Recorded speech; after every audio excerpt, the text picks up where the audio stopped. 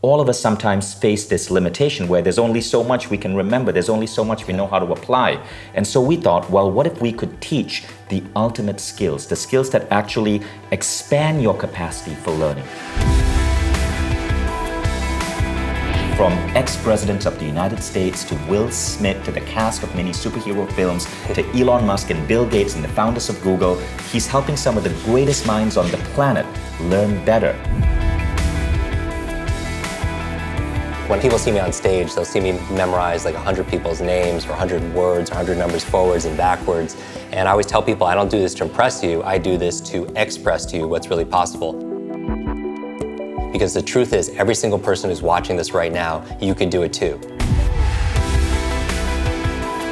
So if you could learn any subject or skill, what would you choose? And it's kind of like when we're talking about a genie, somebody says like, hey, if you get one wish, what would you choose? And people are like, oh, I would wish for more wishes, right? Right. And so that's the way I look at it, that if somebody says you can learn any subject or skill faster, what would it be?